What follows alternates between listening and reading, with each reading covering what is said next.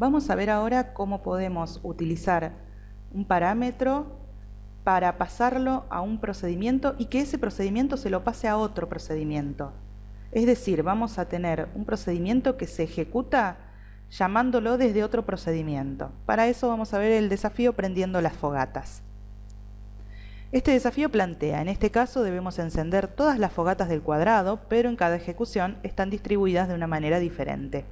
Ten en cuenta que las casillas de la esquina nunca se prenden y que el tamaño del cuadrado no varía de una ejecución a la otra.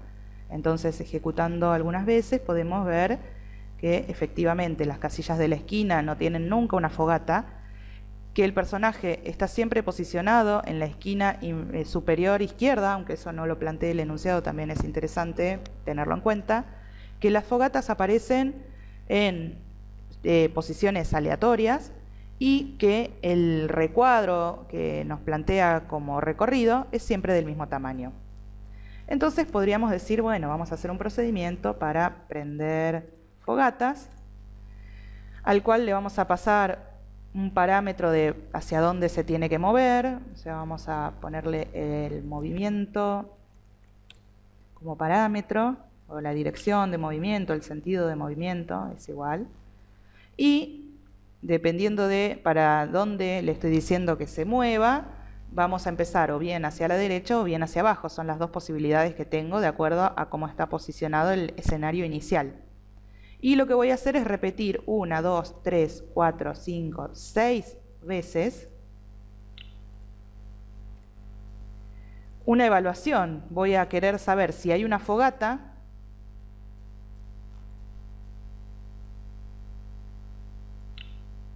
Si hay una fogata, la voy a querer encender.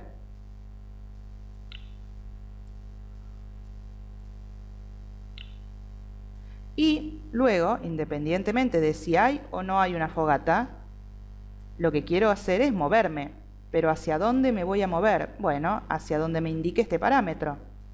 Bien, pero acá tenemos un problema. No hay una primitiva que me permita armar un movimiento con el parámetro que me están pasando. Es decir, no tengo una primitiva que sea mover hacia y a esa primitiva yo pueda encastrarle este parámetro. Tengo acá literalmente, o sea, valores, lo que se llaman valores literales de las direcciones posibles, hacia abajo, hacia arriba, hacia la izquierda o hacia la derecha. Entonces lo que me va a quedar por hacer para poder indicarle acá que quiero moverme es crear un nuevo procedimiento al que voy a llamar mover en este caso, a este procedimiento le voy a pasar como parámetro la dirección y se va a encargar de fijarse si la dirección que le pasamos por parámetro es la derecha, que se mueva hacia la derecha, si es la izquierda, que se mueva a la izquierda y así sucesivamente. ¿De dónde va a venir esta dirección? Bueno, porque yo en mi programa voy a ejecutar este procedimiento prendiendo las fogatas, por ejemplo, puedo empezar hacia abajo. Entonces, el, primer movimiento que le voy a dar es hacia abajo. Ahora vamos a ver cómo construimos ese movimiento. Una vez que llegó hacia abajo, lo voy a mover hacia la derecha.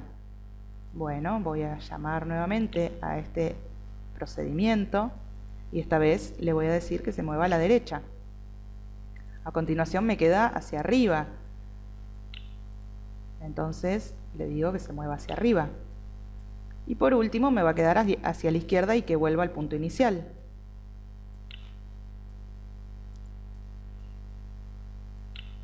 Con esto tenemos la estructura del programa. Vamos a decir entonces que se mueve en esta dirección y vuelve al punto inicial y que por cada uno de esos movimientos ¿qué hace? Le paso el parámetro hacia abajo. Entonces, prender fogatas en el parámetro movimiento tiene el valor hacia abajo. Ahora, ¿qué hace con ese valor? Porque acá, como está definido, no hace nada. Simplemente repite seis veces a ver si hay una fogata y la prende, pero nunca se está moviendo. Bueno, entonces, ¿qué es lo que voy a hacer? Voy a utilizar mi procedimiento mover, que luego lo vamos a definir, pero yo ya sé qué es lo que va a hacer este procedimiento, a pesar de que luego le dé los detalles. Yo ya sé que este procedimiento me va a permitir moverme en una dirección dependiendo de qué valor tiene el parámetro. Entonces, cuando me dicen prender fogatas con el movimiento hacia abajo, vengo a prender fogatas y en el movimiento tengo el valor hacia abajo. Y voy a repetir seis veces. Si hay una fogata, la prendo. Y luego, independientemente de si hay o no una fogata, voy a ejecutar este procedimiento que es mover con dirección, en este caso hacia abajo porque es el valor que se le pasó en primer lugar. Luego va a pasar lo mismo, pero va a decir a la derecha, luego hacia arriba y luego hacia la izquierda y siempre movimiento va a ir tomando uno de estos cuatro valores. Bien, ¿cómo podemos definir entonces este procedimiento mover? Bueno, este procedimiento va a tener que evaluar entonces qué valor toma dirección. Algo importante a ver es que este valor que le paso, que se llama, que dice abajo, acá el parámetro se llama movimiento, pero este movimiento va a ser uno de estos valores. Y acá lo utilizo llamándolo movimiento. Si en esta llamada a otro procedimiento le estoy poniendo en el procedimiento el nombre dirección, pues acá entonces se llamará dirección, pero el valor va a ser siempre el mismo, por ejemplo, abajo. Este valor se va a ir pasando acá, de este otro procedimiento se pasa a este, y en cada uno lo llamará con el nombre que quiera, pero el valor no cambió. Bien, ¿qué dijimos entonces que teníamos que hacer dentro del procedimiento mover? Vamos a tener que evaluar si la dirección, que va a ser entonces una de estas cuatro, es a la derecha, me muevo a la derecha. Si es a la izquierda, me muevo a la izquierda. Si es arriba, me muevo arriba. Y si no, me va a quedar que es abajo. Porque ya eh, si no era ni a la izquierda, ni a la derecha, ni arriba, la única que me queda es si es abajo. Podemos empezar por cualquiera de las cuatro. Entonces lo que voy a hacer es utilizar una alternativa de este tipo que va a verificar si la dirección que me están pasando es por ejemplo, a la derecha, o puedo empezar por la izquierda, puedo empezar por cualquiera. Entonces me muevo dependiendo de qué valor tiene ese parámetro dirección. Para eso vamos a poder utilizar uno de estos operadores que lo que hace es evaluar si una cosa es igual a la otra. Entonces, ¿qué es lo que voy a querer saber? Si la dirección que me pasaron por parámetro es decir, el valor que tiene este parámetro dirección, es igual a alguna de las cuatro direcciones posibles. Por ejemplo, a la derecha. Si la dirección es igual a la derecha, es decir, si el valor que tiene este parámetro es la derecha, entonces quiero moverme a la derecha. Si no es la derecha, entonces me están quedando otras tres posibilidades. Vamos a evaluar nuevamente con una alternativa de este tipo. Repetimos el procedimiento, pero ahora la dirección ya no puede ser la derecha, porque ya si era la derecha se evaluó acá arriba. Si no era la derecha, entonces ahora tengo otras tres para evaluar. Por ejemplo, puedo preguntar si es la izquierda. Si sucede eso, entonces me muevo hacia la izquierda. Y si no sucede ninguna de estas dos, me quedan otras dos posibles, hacia arriba o hacia abajo. Pero en este caso voy a utilizar una evaluación en la que el operador que voy a poner va a ser por una de esas dos restantes. En la otra no voy a colocar un operador. Por ejemplo, si ya se movió hacia la, derecha, toda esta parte no se va a ejecutar. El procedimiento termina acá y continúa la ejecución del programa. Si no era a la derecha, entonces viene a esta parte y se fija si es la izquierda. Si es la izquierda, corta acá, eh, realiza esta acción, luego corta y no se ejecuta el resto. Si no es la izquierda, entonces voy a tener que ver si es arriba. Si es arriba, me muevo hacia arriba. Pero ahora ya no necesito poner otro operador porque ya excluí las distintas posibilidades. Ya si era la derecha, ejecutó acá y terminó.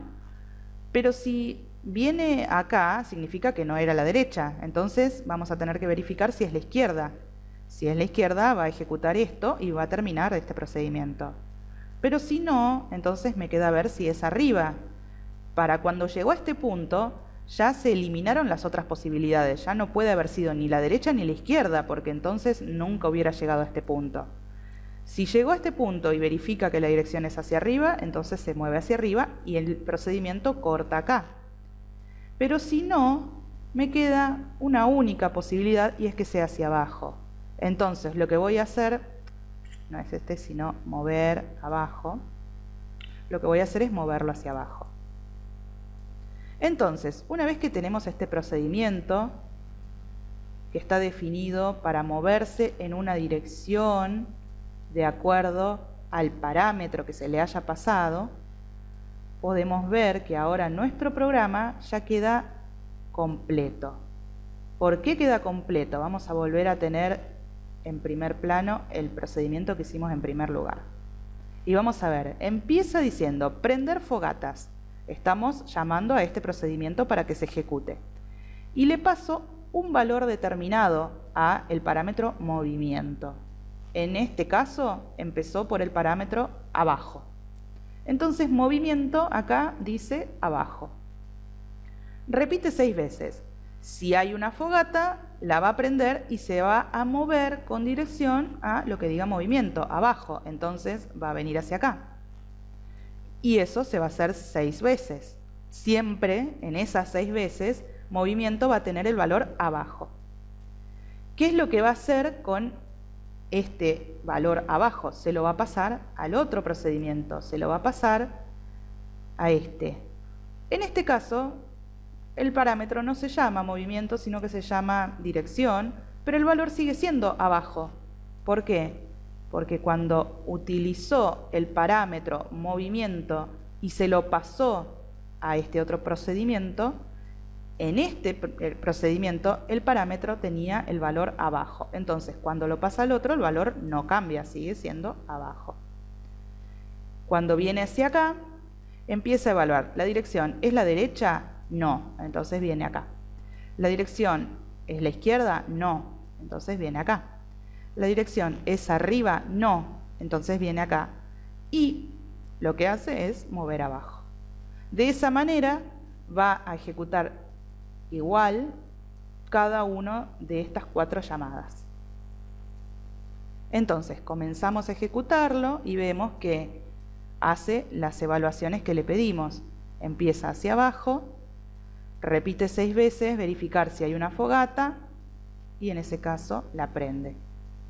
Y luego se mueve. Y vemos que comienza hacia abajo, después se movió a la derecha, después fue hacia arriba y después fue hacia la izquierda y cuando llega al punto inicial termina el programa.